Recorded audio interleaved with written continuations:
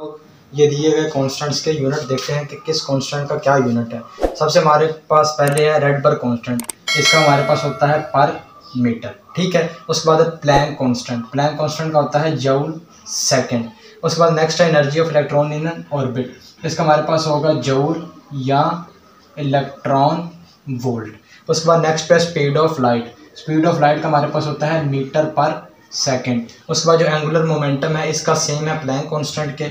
आपको पता है क्या था वो? जूल सेकेंड तो ये हमारे पास थे कुछ यूनिट्स कॉन्स्टेंट्स के, इनको आप लोग देख लें।